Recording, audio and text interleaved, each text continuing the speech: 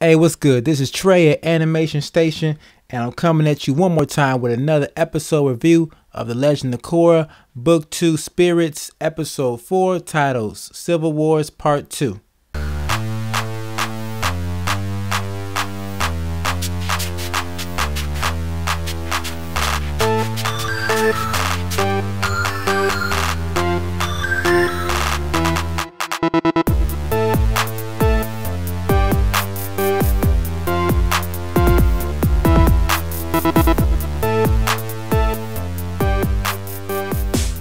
This episode can basically be split into two parts. What basically goes on with Tenzin and his fam, and what goes down between Korra and her fam. Both are having some family troubles right now, and we're going to get into uh, what's going on with each of them. First, I'm going to actually talk about Tenzin because his was uh, a little more anticlimactic and just more generic storyline based. So Tenzin is still looking for his daughter Ikki, and he finds her. It's not a kidnapping like I thought it would be, and uh, she's just chilling over there with the Sky Bison, kicking it, sipping some, sipping on some tea.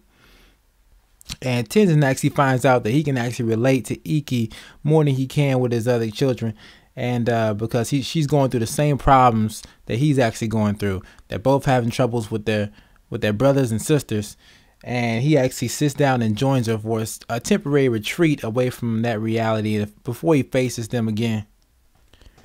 But after a while, they realize the importance of having a family, and they realize that it's a lot better than being off by themselves.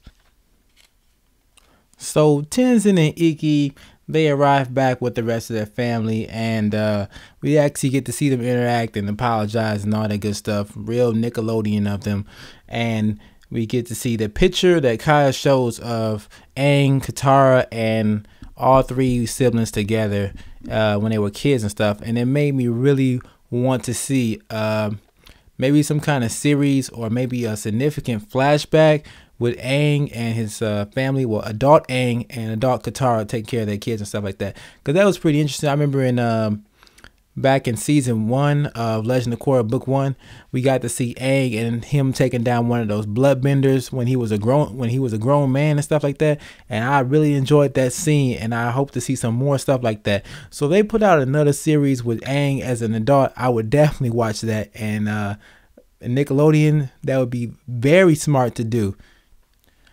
Okay, so before I get too sidetracked, let me switch back over to Korra side of things because this is the Legend of Korra, and uh, just want to say a few things. Starting off, Unalaq is one dirty mother.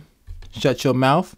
Uh, Bolin is a punk and a fool, and Varrick is in a giant platypus with his assistant. Huh? I wonder what they doing up in there. Huh? I'll let you use your imagination. But fast forward a little bit to the trial section, and wow, that trial. No defense attorney? Really? What kind of trial is this? No one can even say anything good about the Southern Water Tribe. They probably all had probably only had all Northern Water Tribe members there present at the trial. Because if they had the Southern Water Tribe there, I think they probably revolted right there. Like, hold on, hold on, homie. You ain't even hearing what they got to say, man. Let them talk. Didn't even hear a word from them. And at this moment in time, I thought the judge was pretty narrow sighted. I mean, he's failing to realize the consequences of his verdict because he actually sentenced, and, sentenced all everybody except Senna, which is Korra's mom, to death. I mean, to death. That's final. There's no coming back from that. You think the water, Southern Water Tribes go just sit down and just take that? Because um, Tonraq, I think that's how you pronounce his name, is Korra's father and maybe temporary chieftain of the Southern Water Tribe. He's looked at like a chief. So if he goes down, everybody's gonna go. Everybody's gonna go ham. It's gonna be crazy. And Korra got pretty pissed with the verdict too. That was pretty funny to see her. She's like, "If you kill them, I'll kill you." I'm like, "Ah, Korra." She is finally learning that might is right, at least in her case. And then we get to see her strong arm the judge later on because she doesn't really like the verdict and the situation going on. And her mom's back at home crying without her dad there. And uh, this guy really spills the beans on Unalaq and we learn about all his dirty laundry. And I'm like, bang, bang. It's about time. Shots have been fired. We can now see our main antagonist, our new villain that has just emerged. It was apparent to me on day one that this guy could not be trusted, and now is apparent to everybody watching the show. Unalaq for the loss, okay? Not for the win, for the loss. This man has lied, manipulated, incarcerated, and agitated myself. After hearing this news, Korra is determined to get her father out of prison and she heads back to uh, we see Asami, Bolin, um, what's his name, Mako, and Varrick.